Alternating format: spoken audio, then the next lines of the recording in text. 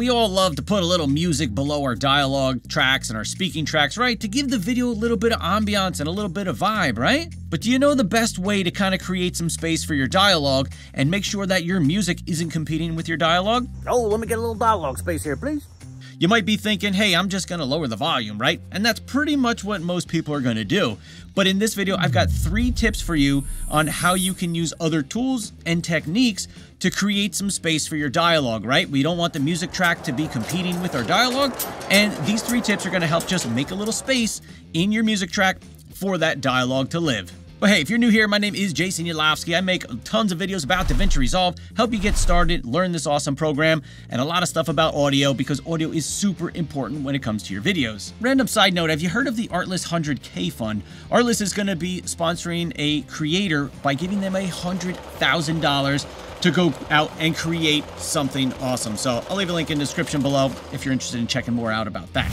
So we're in DaVinci Resolve. I have a talking head clip of myself, and I've got two different music tracks that I got from Artlist, the sponsor of today's video. Talk about them later. So let me just play a little bit of this clip here, and you're going to hear, obviously, the music's going to be too loud, and we're going to start with uh, how most people would go ahead and try and balance our dialogue and our music track. So take a listen to this.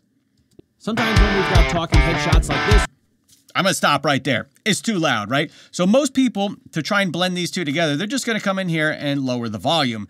And we can totally do that. So I'm going to play through it and just drop the volume down a little bit and just kind of try and get them to blend together a little bit better. And let's see how, how it sounds. Sometimes when we've got talking headshots like so maybe a little bit lower than that, maybe a minus 25 dB. Like this, or people talking in our videos, we want to put a music track below all that. Okay, so it's not too bad, right? Maybe I make it a little bit quieter, but uh, you still hear a little bit of competition between the guitar in that music track and me talking, right? So let's get into the first tip here. The first thing that you can try uh, to help make some space for your dialogue track within your music track, right? Because we want we want the dialogue to kind of be coming right at you. And this tip, we're actually going to take our music and we're going to push it to the outside, right? So we have right and left channels. So we want to push it to the outside of our speakers. So to do that, we're going to go ahead and jump into Fairlight, musical notes at the bottom here. And we're going to want to add an effect. And that effect is going to be a stereo spread effect. So it's going to take our music and push it to the outsides of our right and left channels to kind of make a little space in the middle for our dialogue to live. So I'm on my track number two here. I want to come to my mixer. If you don't see your mixer, click right here, open up that mixer. We want to come to our effects section, click on the plus. Then you want to come down to spatial, Fairlight effects, and right here we have stereo width. So this is going to allow us to make that music sound a little bit wider, right, between our right and our left channels.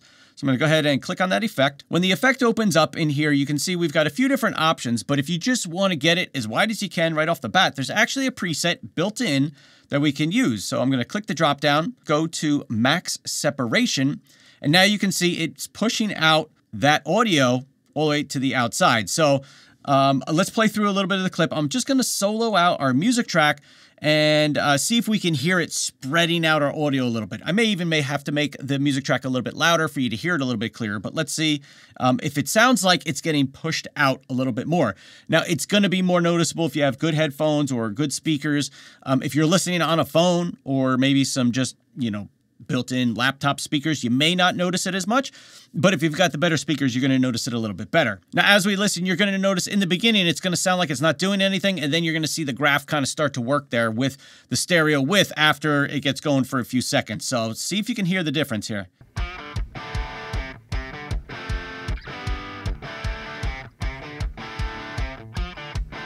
So can you see our graph is lighting up and it's showing that it's pushing the sound out to the right and left channel. So let's just turn this off and then play through and turn it on and see if you can hear a difference. I'm actually going to make it just a little bit louder here. Uh, let me zoom in on our, our timeline here. I'm going to make this a little bit louder just so it's a little bit easier for us to hear. And then we can always drop the volume back down. Before,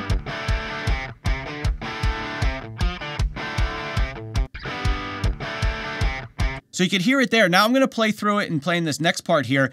Listen to how it sounds like it's coming from the center, and then we're going to spread it out by using the width right here. We're going to start with mono, and then I'm going to spread it out. See if you can hear the difference here. And this is just making some space for that dialogue to live like right down that center audio channel. So listen to this.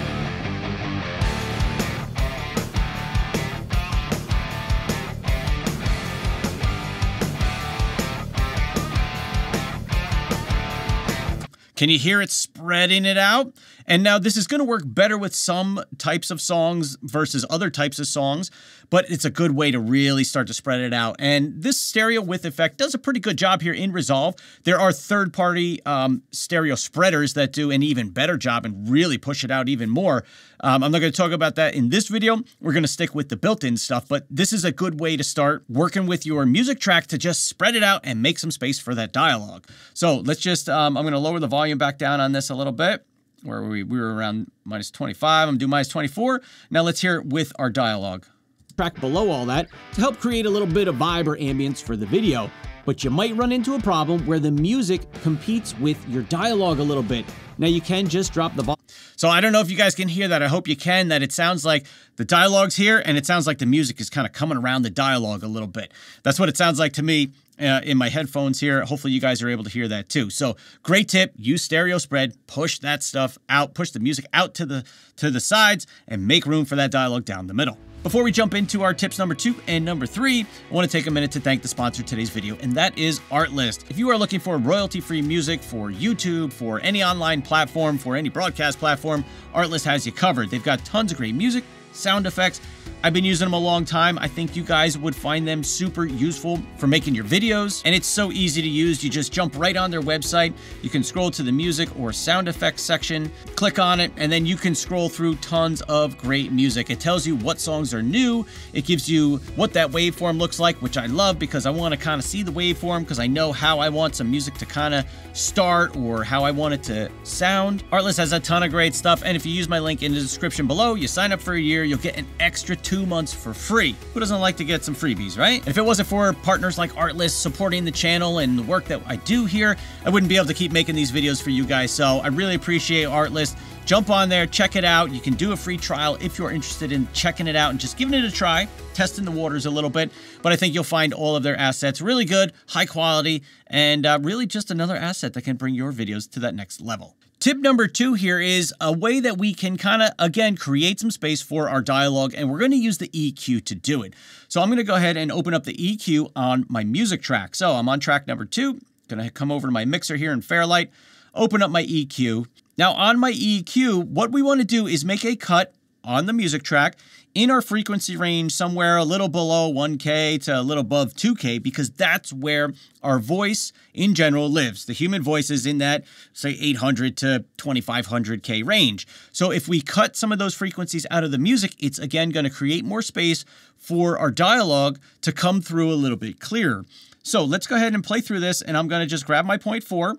I'm going to leave it on the default settings, and I'm just going to drag it down, and we're going to see if we can hear a difference volume of your music. That's one way to handle it, but there's some better ways that we can create space within the music track so that our dialogue comes through nice and clear, but you still have the music underneath of it. Now I did widen out my bell curve here a little bit by using my middle mouse wheel. You can just middle mouse wheel over top of point number four, or you can come down here and adjust your Q factor.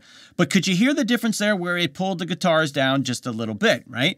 So let me just go ahead and play a little before and after here and see if you could hear the difference to put a music track below all that to help create a little bit of vibe or ambience for the video. But you might run into a problem where the music... So can you hear how it just brings down the level of those guitars a little bit because they're competing with my voice, right? Because your guitars, a lot of it's in that, that same range where the dialogue is. So by making a cut on the EQ, in our music track, we can create a little more space for the dialogue to live.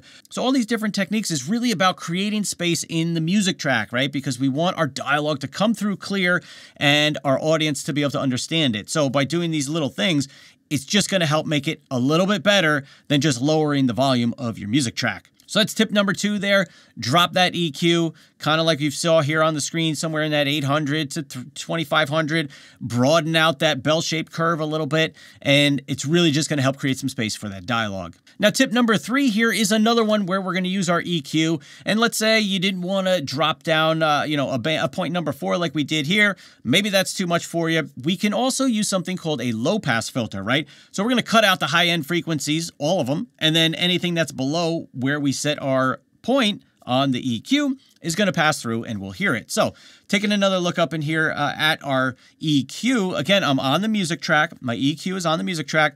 I'm just going to reset my band 4 here, reset my gain, and all I'm going to do is turn on my band 6. Again, these are the default settings. You can see I'm going to reset everything up here, turn on band 6, and all I'm going to do is just bring this back until it sounds like the music isn't competing with my dialogue so much. So let's play through it. I'm going to drag 0.6 back, and we're going to see what it sounds like competes with your dialogue a little bit.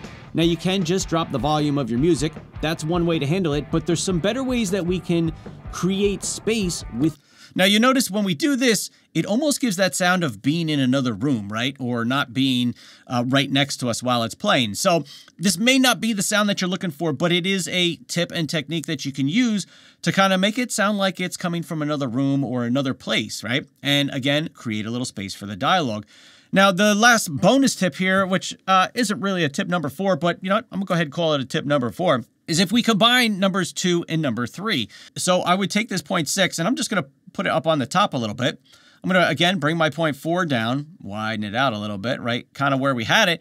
And now I'm going to bring back point six just a little bit to kind of, again, take out some of those highs and create a little more space for the dialogue. So let's play through and see if we can make a difference here using both tip two and number three thin the music track so that our dialogue comes through nice and clear, but you still have the music underneath of it, creating that vibe and that feeling that you want.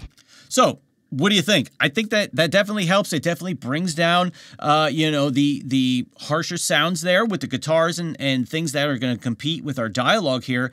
But you can use the EQ really basic, really easy like this.